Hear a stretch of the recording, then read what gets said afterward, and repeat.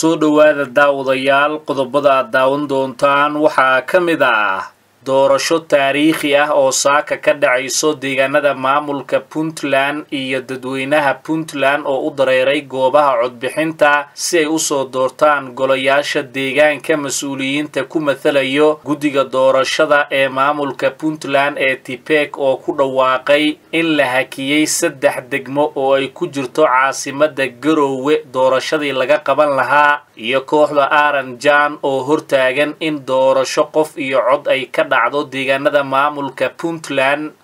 Madaxweynaha maamulka puntland mudane saciid cabdulaahi deni oo ku guulaystay qabashada doorashada qof iyo cod urur siyaasadeedka mideeye iyo urur siyaasadeedka kaah ee ay kala hogaaminayaan genaraal asad diyaano iyo saciid deni oo si adag ugu loolamayo doorashada maanta ka socoto deegaanada maamulka puntland qodobada iyo qaar kale oo faahfaahsan ayaad daawan doontaan. Daawade haddii aad nagu cusub tahay nagu soo biir.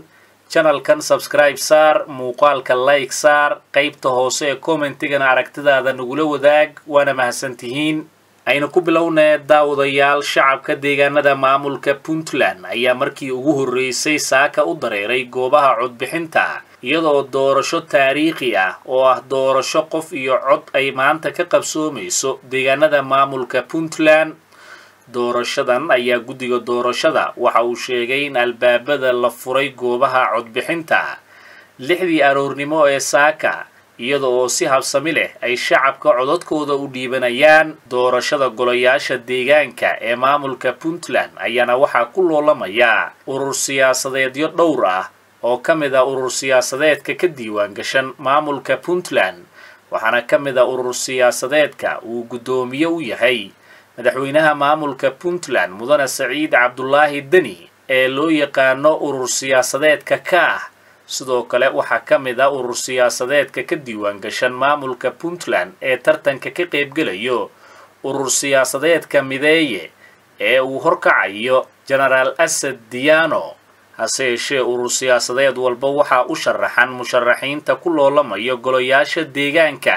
Dhanka kale guddiga ku-meelgaarka ee doorashooyinka puntland ayaa ku dhawaaqay habeennimadii xalayto in xaalad amni oo soo korortay darteed loo hakiyey doorashada qof iyo cod ee saddex deegaano.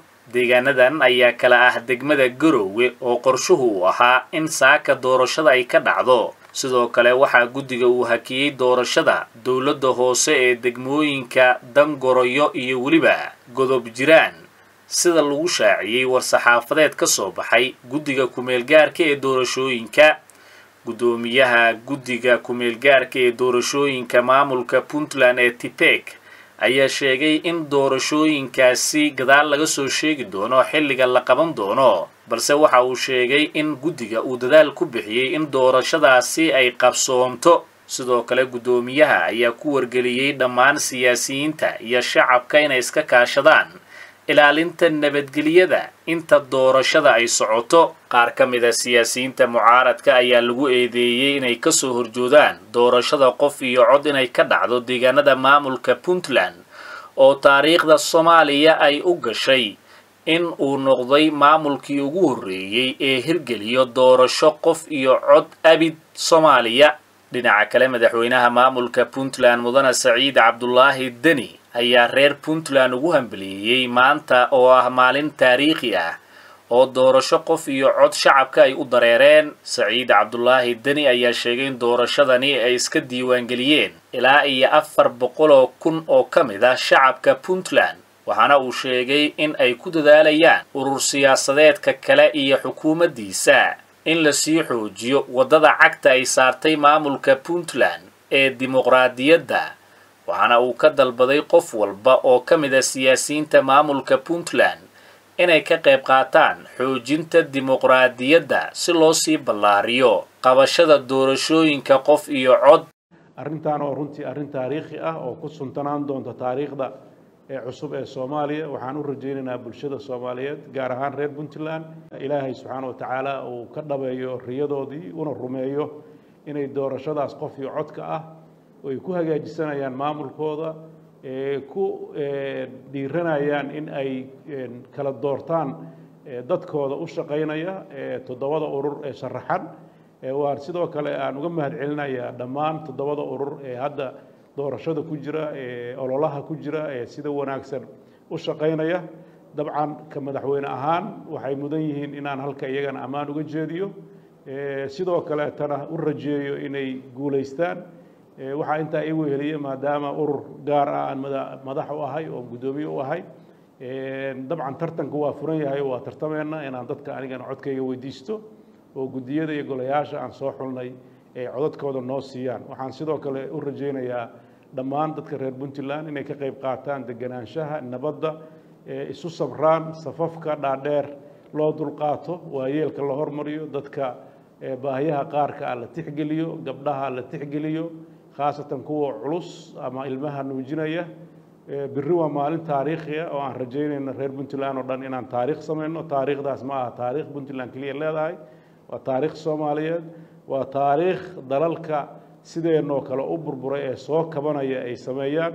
Dhinaca kale genaraal asad diyaano oo shacabka reer puntland kula hadlayay magaalada boosaaso ayaa ka dalbaday in doorashada qof iyo cod ee maanta ka socoto deegaanada maamulka puntland ay soo doortaan urur siyaasadeedka mideeye musharaxiinta ku loolamayo.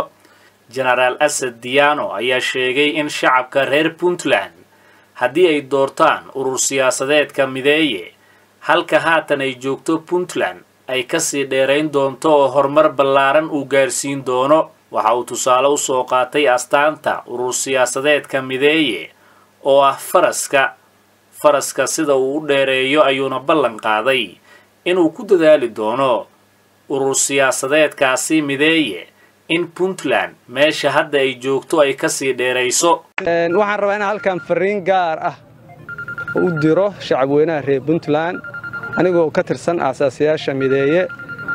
Waxaan insha allah rajaynayaa waa maalin taariikhi ah oo ah reer puntland iyo soomaali oo idil. Waxaan idinka codsanaynaa mideeye codkiinna inaad siisaan oo aad siisaan calaamadda faraska.